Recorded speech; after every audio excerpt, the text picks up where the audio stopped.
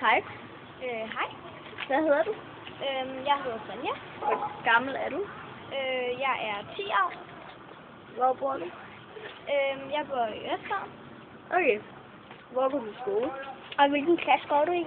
Øhm, jeg går på Ørestadsskole 4. klasse. Hvilken slags film eller serie kan du bedst lide? Øhm, jeg kan godt lide Hallo? Harry Potter og Betty Little Liars. Okay. Hvilken slags musik kan du bedst lide? Øhm, pop. Øh, Barbara Molek. Er du fan af nogen? Øh, ja, Barbara Molek. Okay. Øh, kan du fortælle lidt mere om dig selv? Øh, om din familie, søskende eller nogle af dine venner eller sådan? Ja. Det er svært. Øhm, altså, jeg bor sammen med min mor min far og min øh, lillebror på 5 og min storebror på øh, 19. Okay.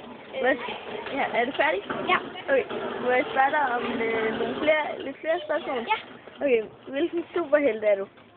Mm, det ved jeg ikke rigtig.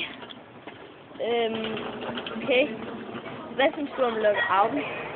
Øhm, jeg synes, det irriterende, nu er der jo ikke lockout mere, men altså, det var... Jeg blev ret træt af det meget hurtigt. Okay. Men okay. Øhm, de, hvad, kend, du kender, øh, kender du Vesterbro? Ja.